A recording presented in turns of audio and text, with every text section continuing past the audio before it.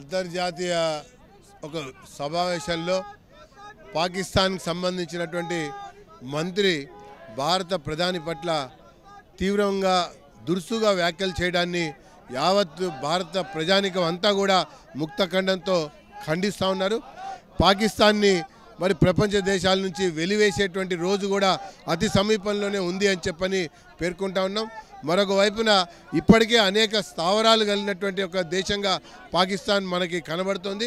ఆధారాలు కూడా ఎన్నో సందర్భాల్లో అనేక సార్లు బయటకు వచ్చినటువంటి విషయంలో ఆ పాకిస్తాన్ని ఉగ్రవాద దేశంగా ప్రకటించాలని కూడా భారతీయ జనతా పార్టీ డిమాండ్ చేయడంతో పాటు బేషరతుగా మరి భారత ప్రజానికానికి క్షమార్పణ చెప్పాలని చెప్పని ఈ సందర్భంగా డిమాండ్ చేస్తూ మరి దౌత్యపరమైనటువంటి మరి దాంతోపాటు వాణిజ్యపరమైనటువంటి సంబంధాలను కూడా ఆ పాకిస్తాన్తో తెగదెంపు చేసుకోవాలని చెప్పి కూడా ఈ సందర్భంగా డిమాండ్ చేస్తాం